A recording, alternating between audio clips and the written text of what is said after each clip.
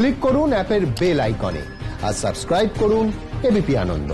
সব সময় থাকুন খবরে। দিলীপ ঘোষ কি বলছেন?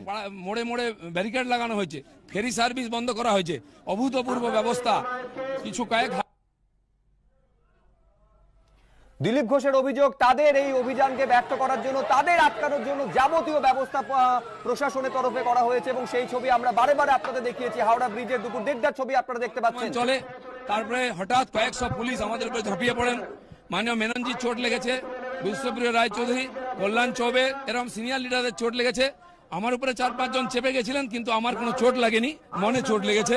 এই যে শান্তিপূর্বক গণতান্ত্রিক আন্দোলনকে গায়ের জোরে দাবাবার চেষ্টা করা হচ্ছে, এর ফলে আরও প্রতিক্রিয়া বেশি হবে।